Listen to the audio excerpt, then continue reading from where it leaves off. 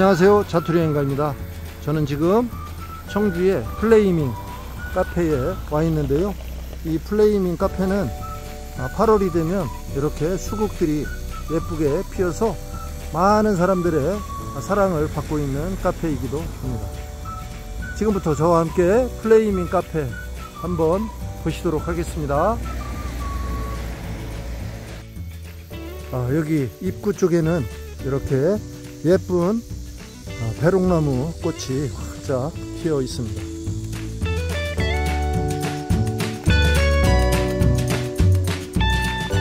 지금 여기 이렇게 수국들이 아주 화사하게 사람 얼굴만한 크기로 예쁘게 이렇게 피어 있습니다.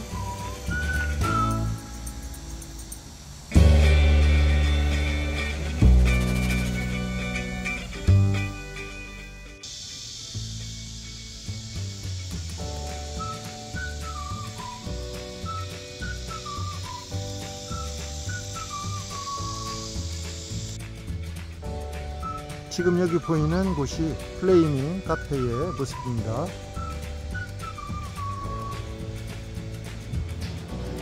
지금 여기는 카페 내부의 모습입니다. 카페 내부의 1층의 모습이고요.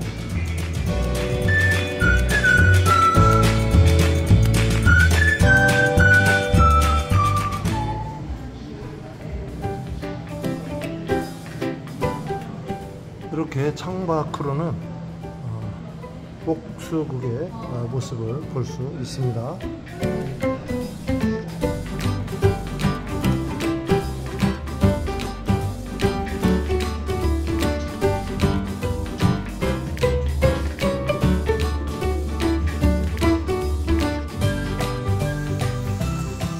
여기 이렇게 저녁이 되면 시원하게 앉아서 좌담을 할 수 있는 테이블들이 야외에도 설치가 되어 있습니다.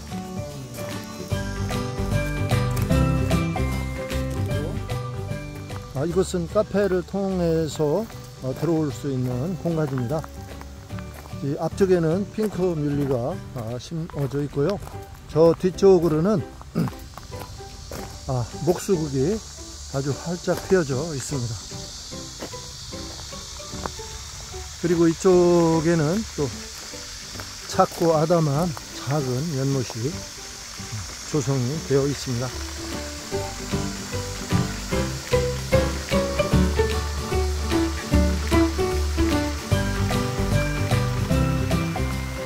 또 한번 저 뒤쪽으로 돌아보도록 하겠습니다.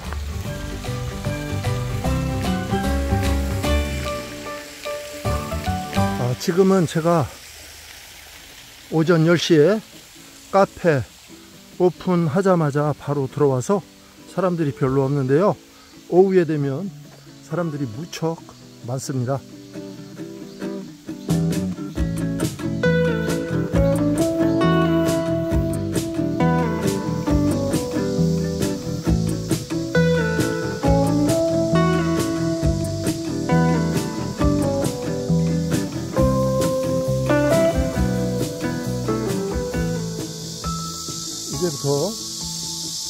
목수국 안으로 들어가 보도록 하겠습니다.